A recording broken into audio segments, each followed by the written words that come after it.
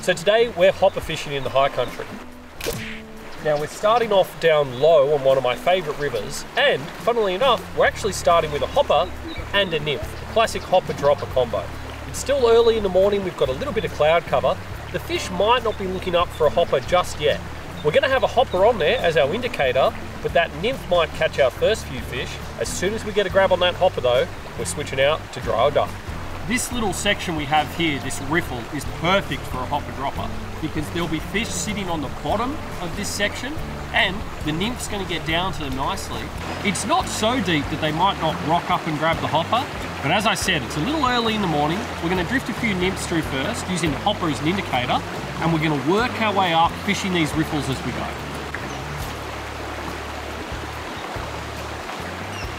Yep, there he is. On the nymph. Fun little guy to start the day. Fun, very little guy to start the day. Even if he's small, he proves my concept this morning that these fish haven't quite woken up yet. It's still early, it's not really hot. These little guys, off he goes, are gonna be feeding on nymphs to start the day. But the hopper's there just in case, for the moment. As you notice, I'm not doing huge casts here. I'm just doing little roll casts, putting it up into the current, and then keeping my rod nice and high, keeping that hopper on top, working well as my indicator, my nymph's getting nice and deep. When I'm fishing in tight enclosed areas like this, I don't need to make gigantic casts. I want to make more casts and really thoroughly search the water, making sure I hit every little part of this riffle with my nymph before I move up and keep searching as I go along. I want to be really methodical. Now, we started off in a classic little riffle where, you know, a hopper dropper or even an indicator rig will work great. But where I find hopper dropper rigs really come into their own are in these broader pools with a little bit of flow in them. I've got all kinds of areas that trout will sit here.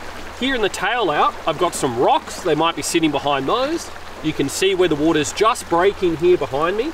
Then further up, I've got some really nice overhanging tea trees with undercut banks and beautiful foamy water pushing down along them. That's going to be my real hot spot. And again, early in the morning, the sun hasn't quite broken through yet. The fish might not be coming out absolutely smashing a hopper just yet, but using that hopper as an indicator, I can drift a nymph right past their noses, underneath where they're looking in their undercut, and see if one grabs it. Or they might be looking up. We're hmm. using the hopper as a barometer here. We've got it on just in case something wants to grab it to start the day. Once it warms up, they'll definitely be up on the hopper. Now, that's actually quite interesting. What happened there, there he goes, is that fish actually ate our hopper. He missed it, the line slid down, and I hooked him on the outside of the jaw with the nymph. Now, that happens sometimes when you're fishing with a hopper dropper rig. The nymph can act as a bit of security, especially for those smaller fish that miss the dry. But what that shows me is they're starting to look up. Now that's only one eat. I'll leave my little dropper on for now and keep fishing up, but I know they're already starting to wake up and look for hoppers.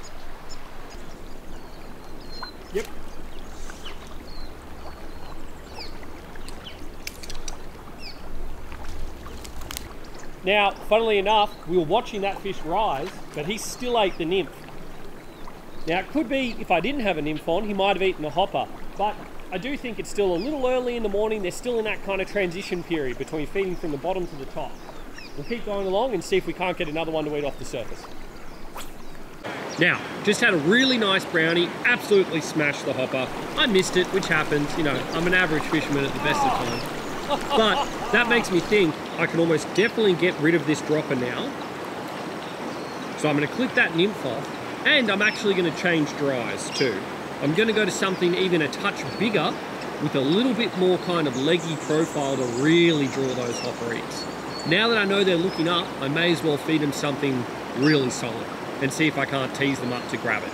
Now, a lot of people might think that clipping your dropper off means you're missing out on a fish that might grab a nymph instead of a hopper. And that's true to a certain extent, except a lot of the fish that have been grabbing the nymphs so far have been those really little rainbows. That proper big brown went straight past the nymph and smokes the hopper. And that's what I'm chasing today. If I'm hopper fishing, I'm usually looking for a better fish. And if I just have the hopper on, I can risk it into much tighter areas, right in under these branches, for instance, up here. I can do a few more trick shots and really try and tease these fish out of their lairs without having that nymph that could get caught on a bush or that I can't fish in super shallow water, which some of these browns will sit in looking for a hopper.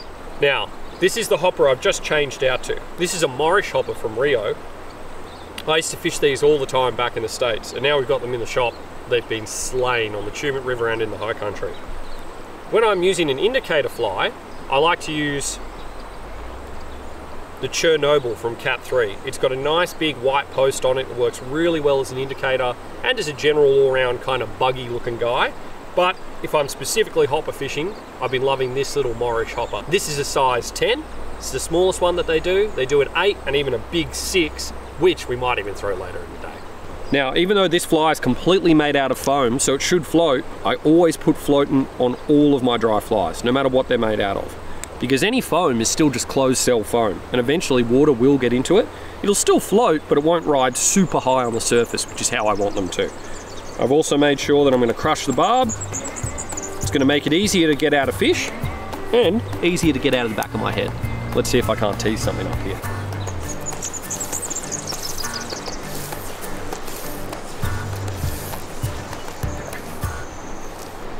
Came back for it. Nice! Excellent. Nice little brownie. Not the same one I lost. This would be his friend, but a beautiful fish on the hopper. Come here, mate. There you go. That is an awesome little stream brownie. He's got that big bit of foam in his mouth there. He's still full of beans. Whew, relax, mate, relax. You're gonna go home. There we go, awesome stream brownie. Absolutely smoke that big foamy hopper. We'll get that out of him and send him home. Alrighty. Didn't get too many grabs through that last run, but I reckon it's about time to start heading up to the high country a bit further. Because as this day goes on, it's gonna warm up and those rivers up the top are gonna be fishing better and better. We've started low down, we're gonna go get some altitude. Once I get out of the mud. We've left the lower stream and we've come and picked up some altitude. We're up in the high country now. We've still got kind of broken cloud, but the sun's just poking through. It's actually awesome conditions, just warm enough for the hoppers to be about and enough wind to knock them on the water. So we're gonna go up and try and pickpocket a few of these kind of holes down here in this gorge and then work our way up through some really nice grassy edges and try and tease some big browns out from the edges just with our single big hopper. We've ditched the dropper now. We're just focusing on that single hopper and the best presentations that we can use to draw and eat out of some of these better fish. We'll go give it a crack.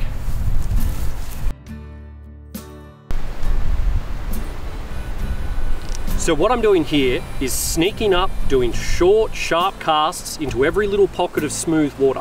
When you're fishing this faster water, you want to look for any little calm spot that a fish might sit in. You notice I'm not casting far. I'm doing short, little powerful casts and reaching my rod out over the water, high sticking it, making sure I get a second of drift, see if anything whacks it, and then moving on. It's a great way to fish this little kind of pickpocket water. Now, as I'm coming further up into these bigger pools, I'm slowing down, doing longer casts and searching with my fly. You'll notice I add a bit of movement to my flies. If you've ever thrown a hopper on the water, you'll see it kicks, takes off, and then pretends to be dead for a bit. Now, when it comes to presentation, sometimes you want a nice dead drift, other times you want a nice little twitch. Mix it up and see what the fish are after that day.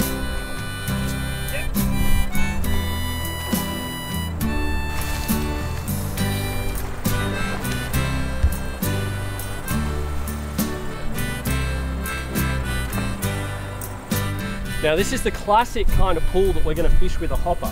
Now we can see there's a really good bubble line coming down the middle and that's definitely where I want to focus. But I have an undercut bank on my own bank and then all this soft water over on the left, if I smack a hopper in there and leave it and just twitch it in that still water, there could be a brown cruising around looking for it.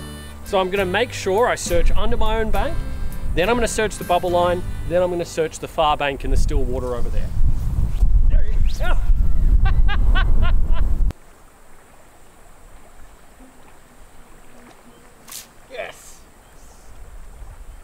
in that bubble line.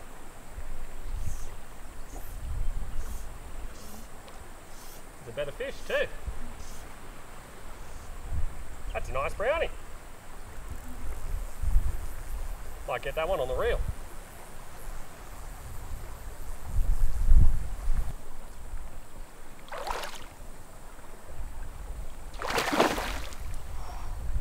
That's a good fish. Beautiful. That's what we're after. That is a beautiful high country hopper munching brown trout. Still full of beans. Got it in nice and quick. We'll get it home. Yep. Now that was an awesome fish. She ended up being right up in that bubble line, pretty much where you'd expect her to be, but I got several eats in along the bank here and out in this soft water on the side. I missed them, they were smaller rainbows, so I'm not too worried, I got the big brown. But just goes to show, there's no need to rush up and smash your hopper exactly at the head of the run. You can search with a hopper really effectively, especially that single hopper just by itself. Throwing it into areas you might not otherwise fish, you know, risk it around and lots of movement. That one ate after a tiny little twitch, it just smacked it, hoppers move. So it's getting later in the day, it's getting warmer.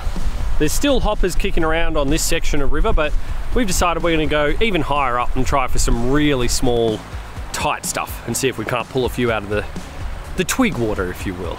Um, we're gonna go up to where there's nice deep pools, a lot of little grassy undercut banks, and go smack some hoppers down and see if we can't get one or two fish on the way home.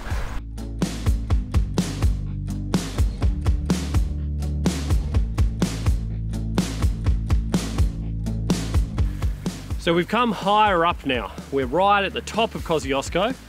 Now, we've been working up today because as it gets hotter further and further down, we want to find colder and colder water. It's better for the fish. As the water gets too hot in those lower rivers, we come up and we fish colder water up the top. Plus, the hoppers wake up later in the day up here.